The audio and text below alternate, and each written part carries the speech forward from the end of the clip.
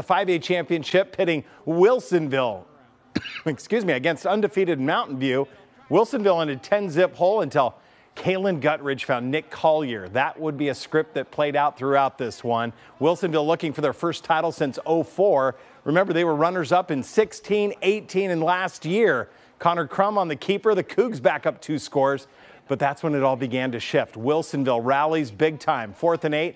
Guttridge making something out of nothing, lays a treat right into the waiting arms of Mark Weipert and the Cats on the prowl. The Wildcats able to overcome a crazy amount of penalties, somewhere near 200 yards for the game.